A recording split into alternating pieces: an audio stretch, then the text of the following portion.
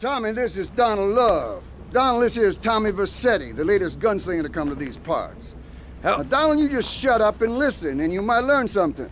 Now, nothing brings down real estate prices quicker than a good old-fashioned gang war.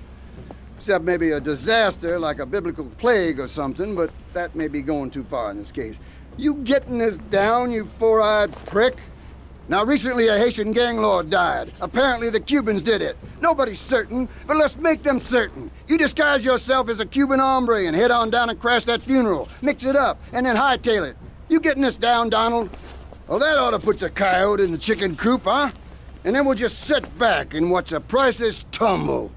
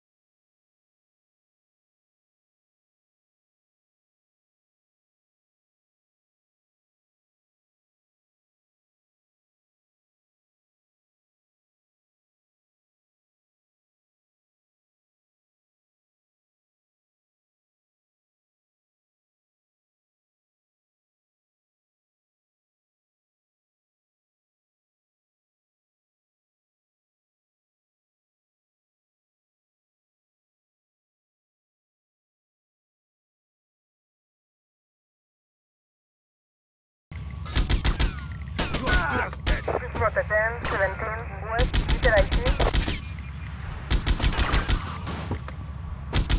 Respond to Rotterdam, 7, West, Peter IT. Rotterdam, 17, West, Peter IT.